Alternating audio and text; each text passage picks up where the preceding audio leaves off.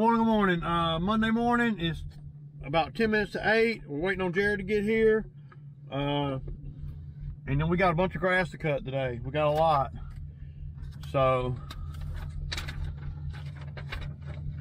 yeah, we need to get, we got a whole big list. So, uh, and there is a little bit of wiggle room.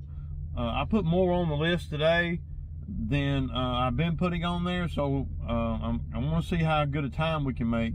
You just can't. I don't know, man. You just can't get too hung up in in in, in waiting on people, man. I, I can't stand it, you know. Uh, but he ain't late yet, so but he ain't early. It's unpredictable. It's it's like I say every year. It's unpredictable that gets me more than anything. Not knowing. Uh,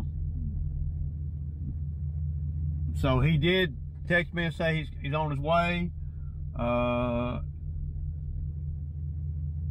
that was about 15 minutes ago. So he's going to be right over. He, he, ought to be pulling up right at eight, man. Uh, if nothing, if you don't run into no school traffic or nothing.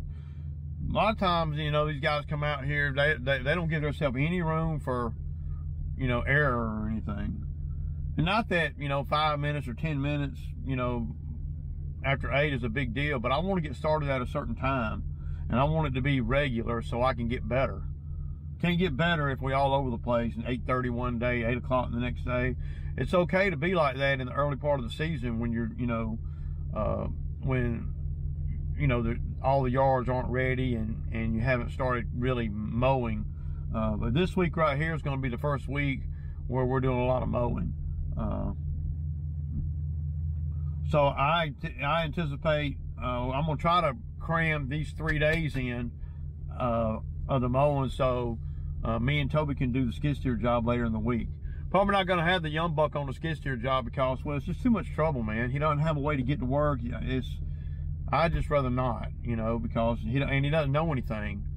And it'd just be a wasted, you know, he'll work, but, you know, it, would be a, a, a, big waste of, of resource. And he would expect a certain amount of money, you know, uh, on a skid steer job. So in his in his head, that's how he thinks. He thinks because we got a skid steer on the job, he makes more money. Uh, sometimes that that's true, but not it's not the rule of thumb or nothing.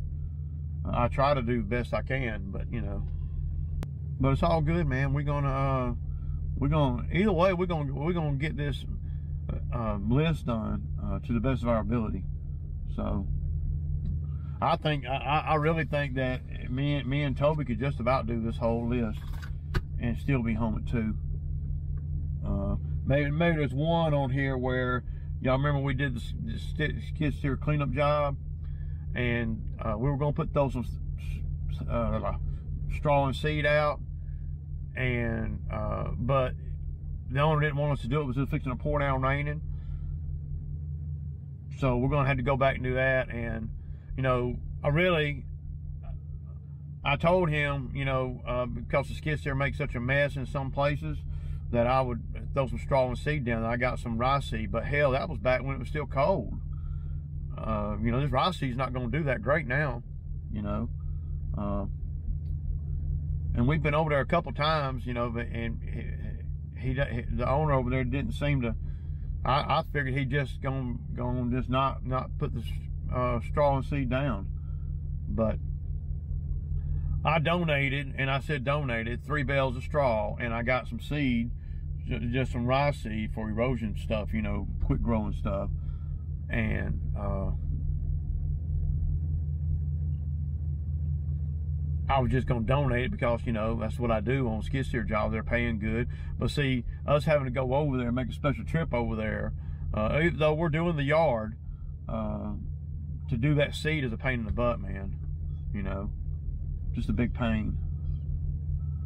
Now, everything that we do outside of the lawn care, if it ain't a planned thing or a big money making thing, then I don't want to do it.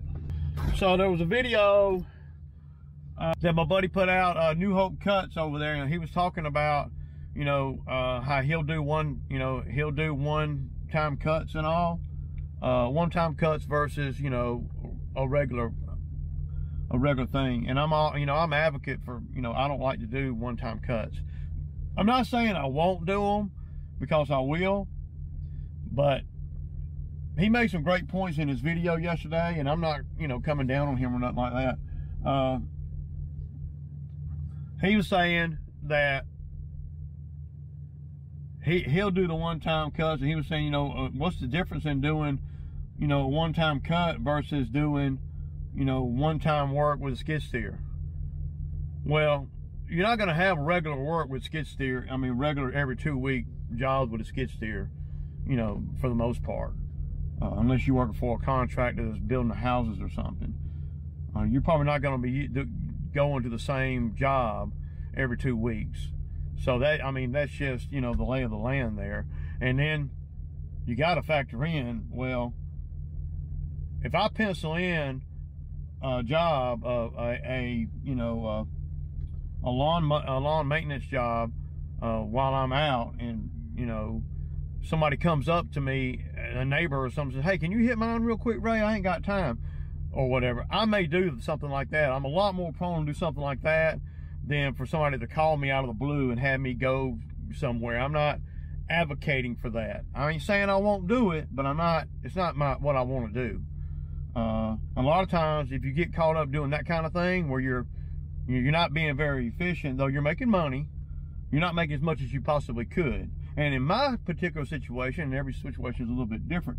In my particular situation, considering I got a skid steer, uh, you know, I can either say, okay, I can go do a $150 lawn, you know, and usually it's going to be a pain in the butt because usually people that, that call for one-time cuts, it's going to be knee high. Uh, it's going to be, you know, and we're talking about 150 bucks or at the most, usually, you know. So I'm not, I'm not a big advocate of that. Uh,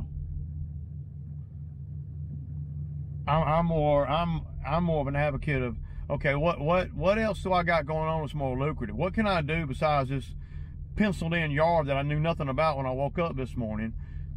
Versus, oh, a skid steer job? Well, it's gonna pay fifteen hundred bucks. Well, that's that's that's worth it right there. You know, if if every call in, you know, one time lawn maintenance job was a fifteen hundred dollar job, well then I'd probably be more prone to do them, right? I mean, I'm just saying I would. Uh, and ain't nothing against people that do or don't. Uh, so it's 8.15 and, and the young buck ain't got here yet. He said he's in traffic on 16. They got one lane or something. You know, I ain't got nothing to do with all that, man. This ain't, this ain't getting it, man.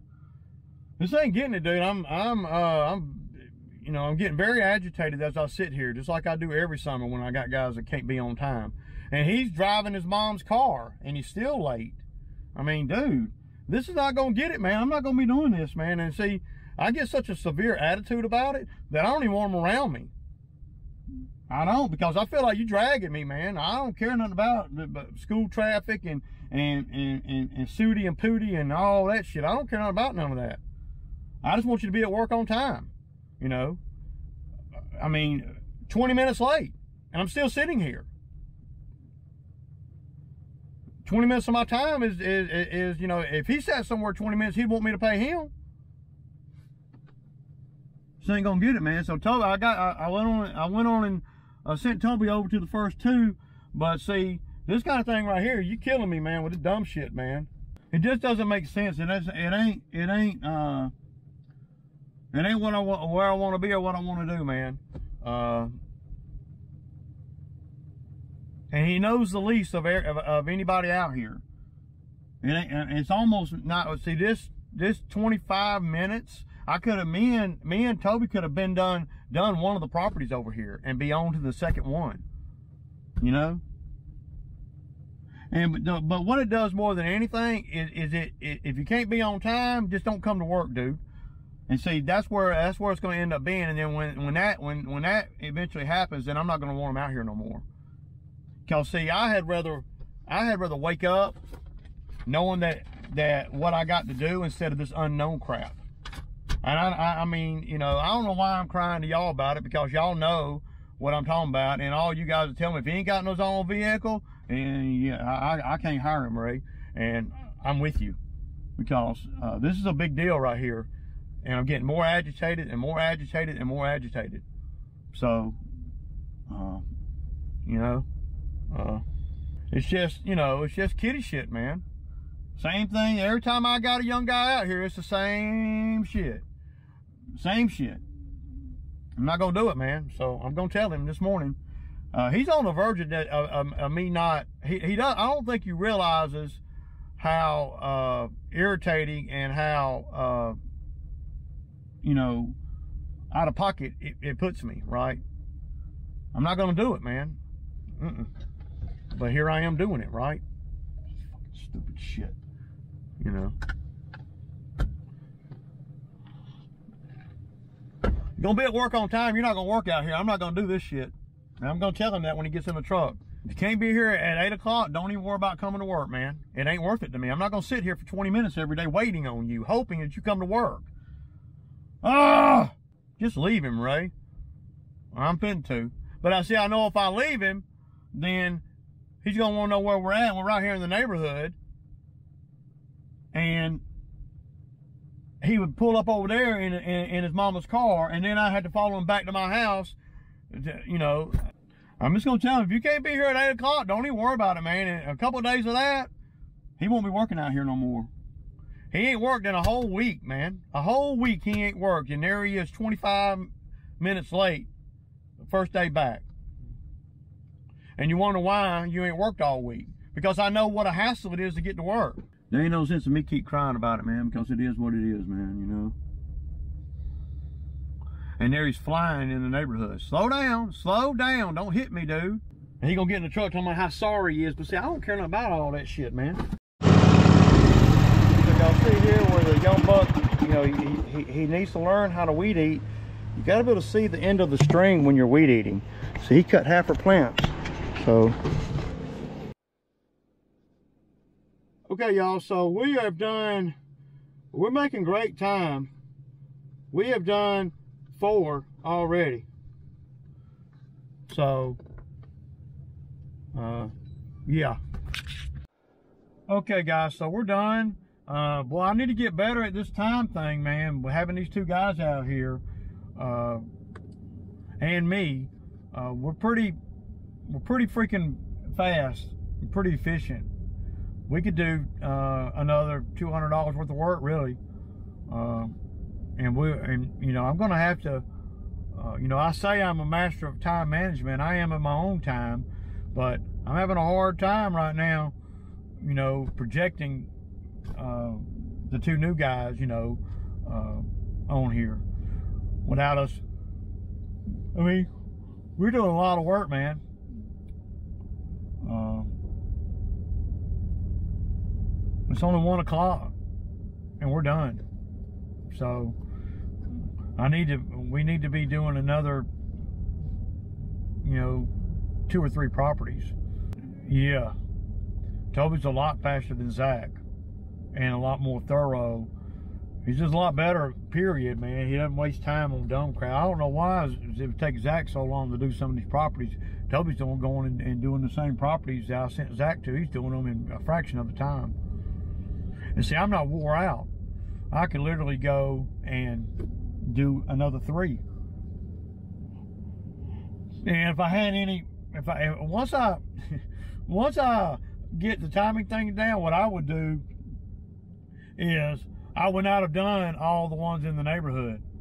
I would have went on and done, you know, all outside of the neighborhood, and then when I got done eating, I'd go do one in the neighborhood you know, to kind of. But see, if I do that, then we're gonna run out of work. I got to get more customers, man. Uh, some kind of, some kind of, some, some, some kind of way. Uh, so, yeah. But back to what I was talking about earlier, y'all, about the the one-time cut stuff. Um, if I got time, I'll do them. Uh, but it's usually you know, not it's, it's certainly not the bread and butter of everything. I don't really like to do them. Uh, and I hope this answers, you know, uh, New Hope Cuts, you know, question about the timing and about, uh, the difference in a skid steer one-time job and a lawn mowing one-time job. Because with a skid steer, you're not going to have every two week deal. That would be the number one reason. And even if you did, uh, or was able to do every two weeks and they didn't want to, the skid steer pays enough money where I can overcome any thing physically or mentally in my head that would block me from doing a one time skid steer job.